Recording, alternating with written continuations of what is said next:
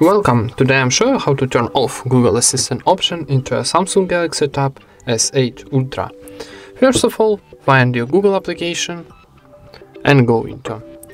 Then in the top right corner we got our Google account icon, so click it and choose settings.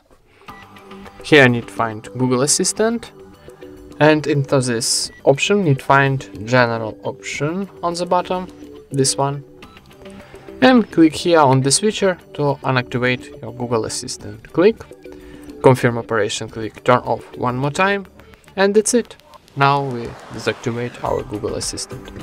Thank you for watching, leave thumbs ups and subscribe to our channel.